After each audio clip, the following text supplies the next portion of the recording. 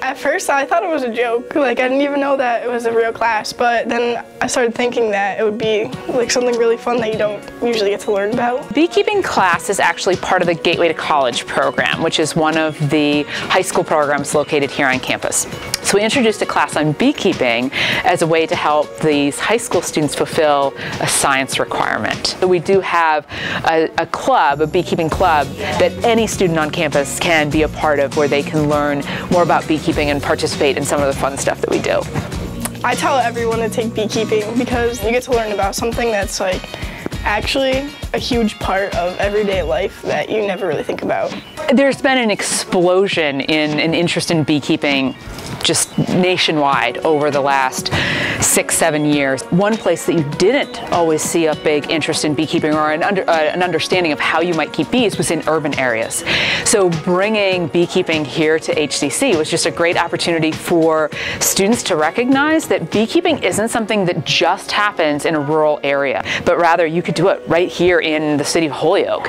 And so we've got a great sustainability studies program here. They've already built a permaculture garden, so it's perfect to kind of add bees into the mix and how the students really understand how the bees pollinating not only what we have here on campus, but even throughout the local area was just such a great benefit to this area.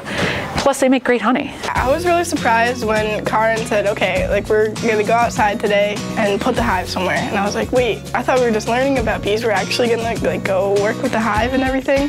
We have some colonies here on campus that we just started in the spring of this year. So number one question has been, do we have honey from those bees? Well, not yet. In the second year, provided things go well, we'll actually be able to harvest honey from the bees here on campus. It will be something for the students to show for their efforts and, well, for the bees to show for their efforts. I feel like HCC has a lot of like, they've set forward a lot of like sustainable efforts. They try to like be a really green campus and I think that it just doesn't surprise me that they're promoting something like bees, like honeybees.